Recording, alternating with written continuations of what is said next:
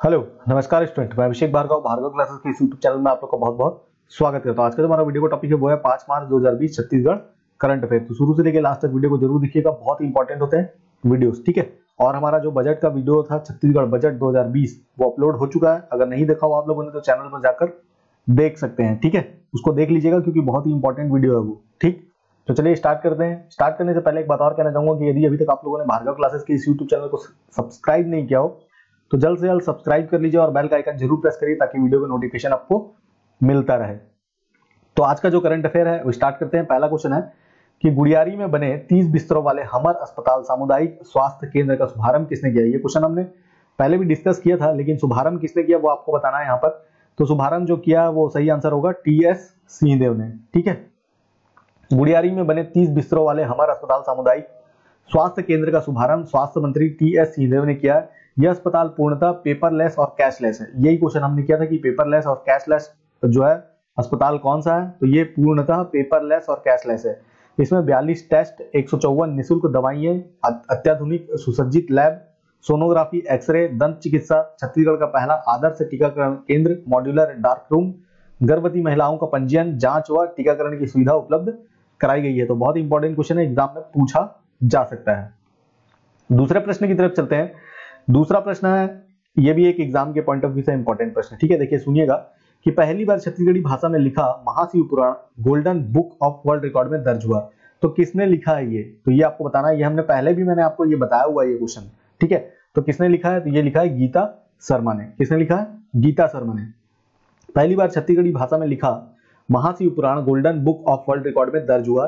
इसे शहर की गीता शर्मा ने छह माह में लिखा है। इतिहास में एम ए तक पढ़ाई पढ़ी शहर की गीता शर्मा, गृहिणी है। गीता ने बताया कि इसमें चौबीस हज़ार श्लोकों का छत्तीसगढ़ी में अनुवाद है। इसमें बारह सौ पन्ने और वज़न ढाई किलो है, ठीक है? तो ध्यान रखिएगा। तीसरा प्रश्न है कि छत्तीसगढ़ से भगवान राम का एक रथ अयोध्या के लिए रवाना किया जाएगा। भक्तों ने इसे क्या नाम दिया है? तो आपको बताना है कि इस रथ का नाम भक्तों ने क्या दिया है?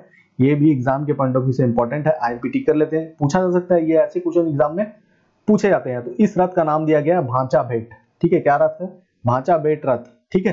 तो नाम याद रखिएगा। छत्तीसगढ़ से भगवान राम का एक रथ अयोध्या के लिए रवाना किया जाएगा। भक्तों ने इसे भाचा भेंट रथ का नाम दिया है। भगवान परशुराम के जन्म उत्सव अक्षय तृतीया के दिन यह रथ यात्रा राजधानी से रवाना होगी। तो याद रखिएगा थोड़ा सा ठीक है? चौथा प्रश्न है कि ऑनलाइन आइडिया श्रेणी में छत्तीसगढ़ से किसको मिला राष्ट्रीय नवाचारी शिक्षक पुरस्कार? पुरस्कार है और नवाचारी शिक्षक पुरस्कार है, बहुत ही इंपॉर्टेंट है आईएमपी कर लेते हैं। जब भी आप इसको पढ़ो या नोट डाउन करो तो आईएमपी कर लीजिएगा क्योंकि इंपॉर्टेंट है, ठीक है? तो यहाँ पर जो सही आंसर होगा वो होगा रीता मंडल। रीता मंडल को जो है वो नवाचारी राष्ट्रीय शिक्षक पुरस्कार जो है वो दिया गया है। शिक्षा के क्षेत्र में नवाचार से अलग जगह रखी PG Umathe higher secondary school की शिक्षिका रीता मंडल को पिछले दिनों अरबिंदो सोसाइटी ने इनोवेशन अवार्ड से सम्मानित किया।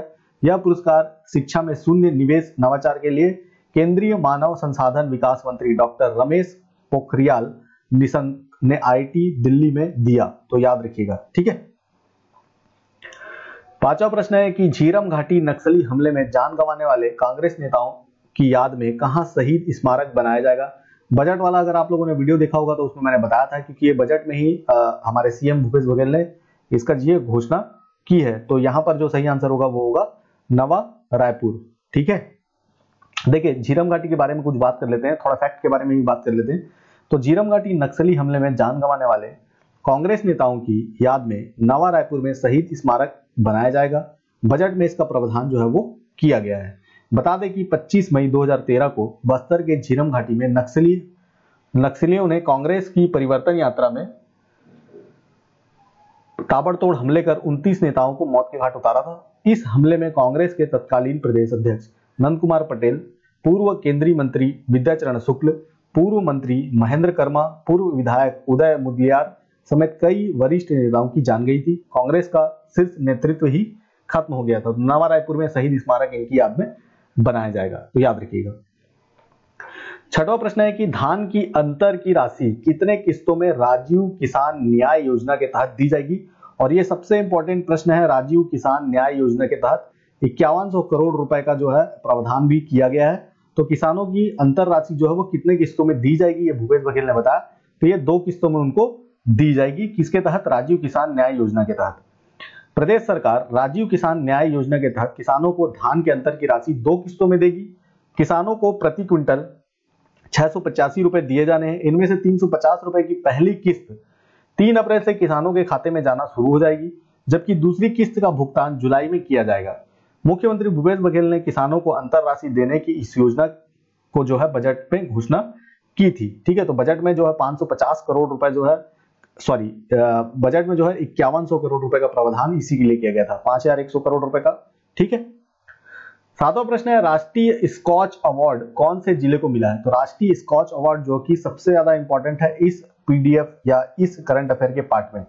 तो आईएमपीटी कर लीजिए, क्योंकि अवार्ड का सेक्शन है, राष्ट्रीय स्कॉच अवार्ड है तो ये इंपॉर्टेंट होगा। तो ये दिया गया है कांकेर जिला को। किसको दिया गया है? कांकेर जिला को दिया गया। अब क्यों दिया गया है राष्ट्रीय स्कॉच अवार्ड? कांकेर जिला को वो भी देख लेते हैं। तो मुख्यमंत्री सुपोषण अभियान के अंतर्गत कांकेर किलकारी के सफल संचालन और सतत मॉनिटरिंग से कुपोषण की स्थिति में सुधार लाने पर कांकेर जिला का चयन राष्ट्रीय सिविलियन स्कॉच अवार्ड के लिए किया गया है।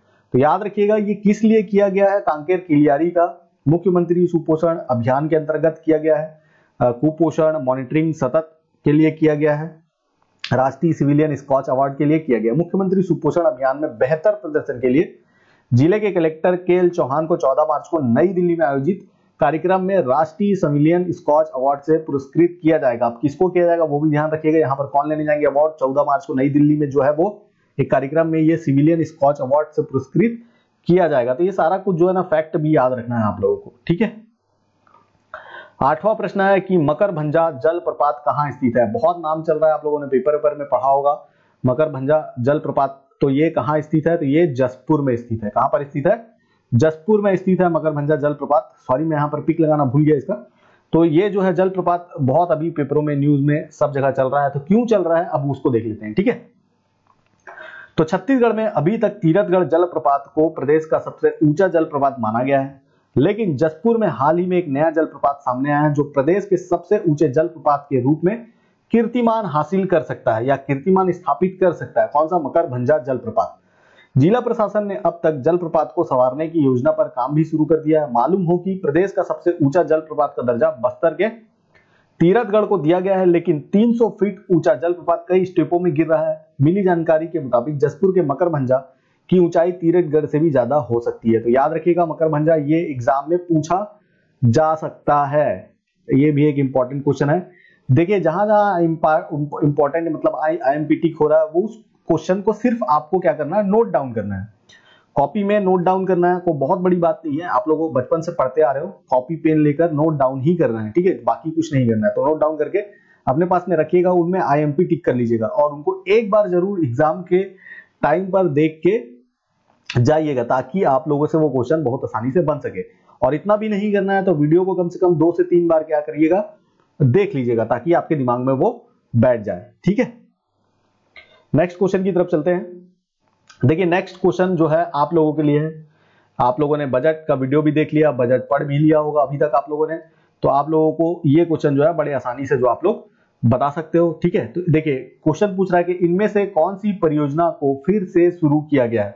तब यहाँ पर चार जो है वो परियोजना है, चार ऑप्शन है मतलब। तो इसमें से आपको बताना है कि कौन सी परियोजना को जो है वो फिर से शुरू किया गया है। थोड़ा सा डिटेल में जब आप लोग कमेंट करेंगे तो आप लोग को भी ये याद होगा। और आपके सहयोगियों को भी, जिनको नहीं मालूम होगा, उनको भी इस क्वेश्चन के बारे में मालूम पड़ जाएगा। ठीक है? तो आपको ये जो है कमेंट सेक्शन में कमेंट कर कर बताना। बहुत ही अच्छा आप लोग कमेंट करते हैं। मैं सारे कमेंट लगभग लगभग पढ़ता ही हूँ। ठीक है? आप लोगों के सुझाव भी मैं रोज देखता हूँ कि आप लोगों ने क्या सुझाव दिया है। ठीक है? सारा कुछ जो है वो कमेंट सेक्शन एक बार ज़रूर जो है कमेंट करिएगा। आपके दिल में, मन में जो भी है, भार्गव क्लासेस के प्रति वो कमेंट कर दीजिएगा। ठीक है? निगेटिव हो पॉजिटिव हो, उससे मतलब नहीं है। कमेंट ज़रूर करिएगा ताकि वो हमें भी पता चले कि आपके दिलो दिमाग में क्या चल रहा है, ठीक है? तो कमेंट थोड़ा अच्छे से करिएगा, बताइएगा कौन सी परियोजना है, क्यों फिर से शुरू किया गया है, क्यों बंद हुआ था तो नीचे कमेंट सेक्शन में कमेंट कर ज़रूर बताइएगा। पीडीएफ चाहिए।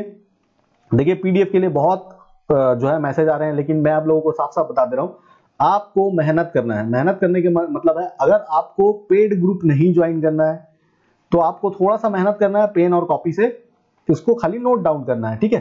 और पेड ग्रुप उनके लिए है, जिनके पास में समय नहीं है, जो जॉब में जाते हैं जो समय नहीं दे पाते कॉलेज गोइंग है, या बिज़ी रहते हैं, उनके लिए पेड ग्रुप है, उनको ही पीडीएफ जो है वो प्राप्त हो पाएगा। ठीक है पेड ग्रुप ज्वाइन करने के बाद में ही उनको पीडीएफ प्राप्त हो पाएगा। अगर जिनके पास में समय ही समय है, जो तैयारी कर रहे हैं एग्ज़ाम की, उनके लिए चार पाँच क्वेश्चन कॉपी में नोट डाउन करना कोई बड़ी बात नहीं है। रोज जो है वीडियो तो अपलोड हो ही रहा है ग्रुप में तो वहाँ जाकर जो है आराम से नोट डाउन कर सकते हैं। तो आज की वीडियो में इतना ही था। जय हिंद।